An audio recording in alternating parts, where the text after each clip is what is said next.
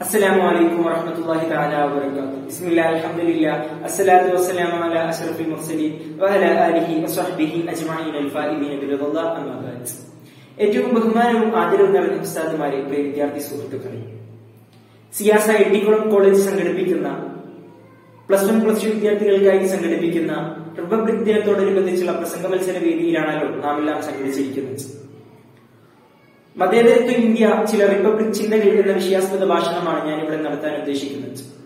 എന്നെ ആദ്യം തോഫിക്ക് നൽകുമാറാകട്ടെ എന്ന് ആദ്യമായി പ്രാർത്ഥിക്കുന്നു. അമീൻ. പ്രിയമുള്ളവരെ എന്റെ വിഷയത്തിന്റെ അഗ്രഹാമിലേക്ക് കടക്കും മുമ്പ് ഒരു ചെറുകഥ നിങ്ങളുമായി നടത്താൻ ഞാൻ ഉദ്ദേശിക്കുകയാണ്.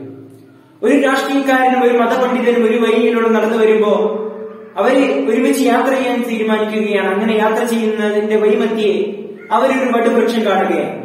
ആ വടുവൃക്ഷത്തിന്മേൽ ഇന്ത്യയുടെ ത്രിവർണ പതാക പാറി പറക്കുന്നു. അപ്പോൾ രാഷ്ട്രീയക്കാരൻ പറഞ്ഞു കാറ്റല്ല ചലിക്കുന്നത് പതാകയാണ് ചലിക്കുന്നത്.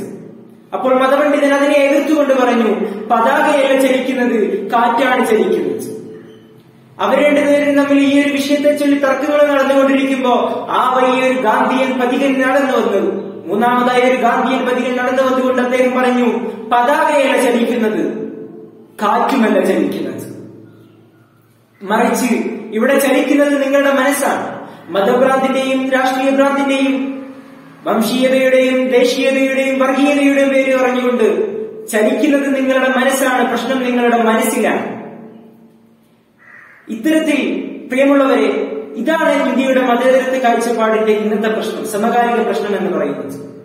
ഗാന്ധിയൻ ദർശനങ്ങളിൽ ഗാന്ധിജിയുടെ മതേതര കാഴ്ചപ്പാടുകൾ ഒരു തുറന്ന പുസ്തകം പോലെയാണ്. ആർക്കും നിഷ്പ്രയാസം വായിച്ചെടുക്കാൻ പറ്റിയ പോലെ. ഹിന്ദുവിനെയും മുസൽമാനെയും ക്രിസ്ത്യാനിയെയും ഒരുപോലെ ദളിത് ന്യൂനപക്ഷങ്ങളെയും ഒരുപോലെ പിടിച്ചുകൊണ്ട് അവരെ സമൂഹത്തിന്റെ സാമൂഹ്യ വളർച്ചയുടെ പ്രതലത്തിലേക്ക് എത്തിക്കാൻ ഗാന്ധിജി ശ്രമിച്ചു പോന്നിട്ടുണ്ട്. താനൊരു ഹിന്ദുവാണ് ഇന്ത്യക്കാരനാണ് എന്ന് ഉറക്കെ പ്രഖ്യാപിക്കുന്നതിനോടൊപ്പം മറ്റു മതസ്ഥരെ പരിഹസിക്കുന്നതിൽ നിന്നും മറ്റു മതസ്ഥരുടെ സ്വാതന്ത്ര്യങ്ങൾ ഹനിക്കപ്പെടുന്നതിൽ നിന്നും മറ്റു മതസ്ഥർക്ക് വേണ്ടിയും താൻ തന്റെ അഹിംസാജനകമായ സമരങ്ങൾ നടത്തിയിട്ടുണ്ട്. ഗാന്ധിയെ ചെറുപ്പത്തിൽ ഒരു കഥ നമ്മൾ നോക്കുമ്പോ താൻ ചെറുപ്പത്തിൽ എപ്പോഴോ കുറച്ച് മാംസം കഴിച്ചു പോയതിന്റെ പേരിൽ തന്റെ വിഭാഗം തന്റെ ഹിന്ദു ആശയത്തിന് അത് എതിരാണെന്നതിന്റെ പേരിൽ അദ്ദേഹം കുറെ പശ്ചാത്തലപ്പിക്കുകയാണ് ഞാൻ മാംസം കഴിച്ചു പോയല്ലോ. പിന്നീട് അദ്ദേഹം ഒരു ശപഥം ചെയ്യുകയാണെങ്കിൽ ഞാൻ സസ്യം മാത്രമേ കഴിക്കുള്ളൂ മാംസം ഞാൻ കൈകൊണ്ട് തൊടില്ല എന്നുള്ളത്. എന്നാൽ കൈകൊണ്ട് തൊടില്ല എന്നുള്ളത് പിന്നീട് നമുക്ക് വ്യക്തമായ കാര്യമാണ്. ഒരു വിദേശി തന്റെ ആശ്രമത്തിൽ വന്നപ്പോൾ അവിടുന്ന് മാംസം തന്റെ കൈകൊണ്ട് വിളമ്പിക്കൊടുക്കുകയാണ്. ഇങ്ങനെ താനൊരു താൻ ഹിന്ദുത്വ ആശയങ്ങൾ മുറുകെ പിടിക്കുന്നതോടൊപ്പം മറ്റുള്ളവരെ അത് നിർബന്ധിക്കുകയോ മറ്റുള്ളവരെ അത് തടയുകയോ ചെയ്തിട്ടില്ല എന്നുള്ളതാണ് കാര്യം. എന്നാൽ ഇന്ന് നടക്കുന്നത് എന്താണ്? ഒരുപടി മാംസം സൂക്ഷിച്ചതിന്റെ പേരിൽ അഹ്ലാഖുമാരെയും സുനീതുമാരെയും വധിക്കപ്പെടുന്ന അവസ്ഥയാണ് നാം സംജാതമായിക്കൊണ്ടിരിക്കുന്നത്. പ്രിയമുള്ളവരെ നമ്മുടെ മതേതരത്വം എന്താണ്? ഇന്ത്യയുടെ മതേതരത്വം എന്താണ് എന്ന് നമ്മൾ പരിശോധിക്കേണ്ടതുണ്ട്.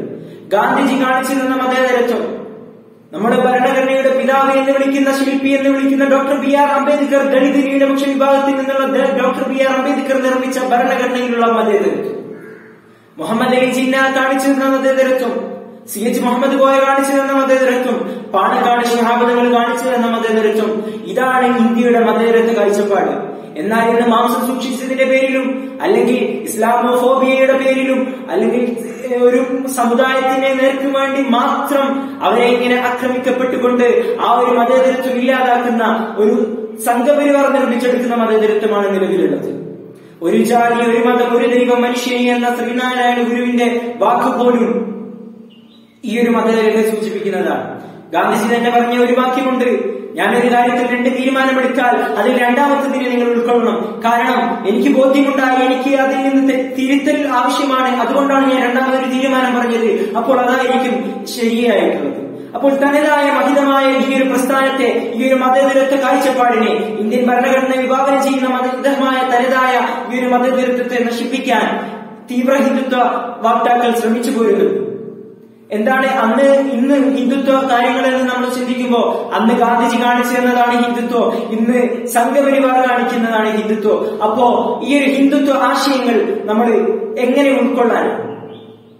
ഇന്ന് ഇന്ത്യയിൽ നിൽക്കുന്ന മതേതരത്വം എന്ന് പറയുന്നത് സംഘപരിവാരങ്ങൾ നിർമ്മിച്ചുകൊണ്ടിരിക്കുന്ന പൂർണമായും തെറ്റിദ്ധരിപ്പിച്ചുകൊണ്ട് ജനങ്ങളെ തെറ്റിദ്ധരിപ്പിച്ചുകൊണ്ട് മതേതരത്വത്തിന്റെ ആശയങ്ങൾ തനതായ രീതിയിൽ നിന്നും മാറി ചിന്തിപ്പിക്കുന്ന ഒരു കാര്യമാണ് നമ്മൾ കണ്ടുകൊണ്ടിരിക്കുന്നത്. ഇന്ത്യൻ ഭരണഘടന വിഭാവനം ചെയ്യുന്നത് ദളിത് ന്യൂനപക്ഷത്തിൽ നിന്നുള്ള ഒരു ഡോക്ടർ ബി ആർ അംബേദ്കർ നിർമ്മിച്ച ഭരണഘടന ശില്പി എന്നറിയപ്പെടുന്ന അദ്ദേഹം നിർമ്മിച്ച ഭരണഘടന. ഒരു ദളിതിനെ മാത്രമോ മുസ്ലിങ്ങളെ മാത്രമോ ന്യൂനപക്ഷത്തെ മാത്രമോ ഉൾക്കൊള്ളുന്നതല്ല മറിച്ച് ഒരു ബഹുസ്വര രാജ്യത്തെ തന്നെ ഉൾക്കൊള്ളുന്നതാണ്. ഇത്തരം ഒരുപാട് ചിന്തകൾ നമ്മൾ വീണ്ടെടുക്കേണ്ടതുണ്ട്. ഇത്തരം റിപ്പബ്ലിക് ചിന്തകളിലൂടെ റിപ്പബ്ലിക്കിലൂടെയാണ് നമ്മൾ ഇങ്ങനെയുള്ള മതേതരത്വ ചിന്തകൾ വീണ്ടെടുക്കേണ്ടത്. അത്തരം ചിന്തകളാവട്ടെ നമ്മുടെ പ്രേരകങ്ങൾ ആശംസിച്ചുകൊണ്ട് ഞാൻ എന്റെ വാക്കുകൾക്ക് വിരാമം കുറിക്കുകയാണ്. അലഹമുല്ലാ റബിൻ അസ്സലാമലൈക്കും വാഹമത്തല്ലാഹി താല വാബർക്കാത്തു